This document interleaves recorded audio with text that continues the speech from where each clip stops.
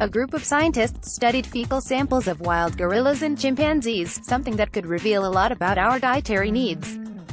Though the idea of studying animal poop for gaining insight into human evolution and health seems a little weird, scientists think the extant species of apes might do us some good, considering they all form part of the of the hominidae family, which includes modern-day humans as well as our extinct relatives.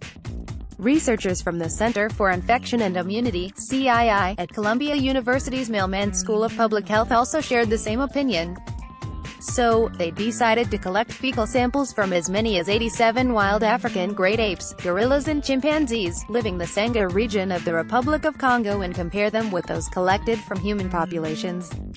The idea behind the effort, which took them three years, was to see and analyze how the gut microbiome in the apes differed from those in humans. They used genetic sequencing techniques for the task and were totally blown away by the findings. The observations revealed microbiomes present in the gut of the gorillas varied with seasons and the dietary changes that came along with those seasons. During warm summer days when juicy fruits made a major portion of their meals, different microbes dominated their guts, while during the wetter parts of the year when the animals fed on fibrous food, leaves and bark, another group was seen. We observed dramatic changes in the gorilla and chimpanzee microbiomes depending on seasons and what they are eating, senior author Brent L. Williams, said in a statement.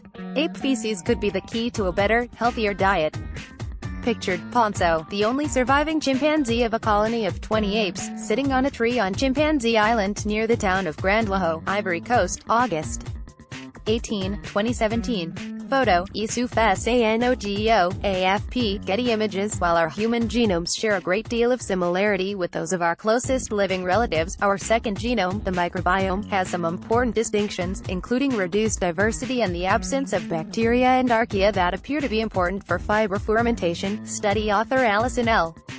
Hicks, said in the statement. Put simply, it's a process of change where the bacteria required for breaking down fiber-rich food is replaced by a completely different microbe group that breaks down fruits but also feeds on the mucus layer in their gut. It is also worth noting the group noted something similar in the Hadza indigenous ethnic group living in Tanzania. The hunter-gatherers change their diets depending on the ongoing season.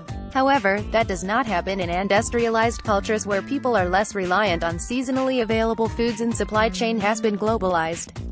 That said, the group now believes understanding the fluctuation of these microbes during different seasons could be the key to know how the process influences health and diseases. The fact that our microbiomes are so different from our nearest living evolutionary relatives says something about how much we've changed our diets, consuming more protein and animal fat at the expense of fiber, Williams added.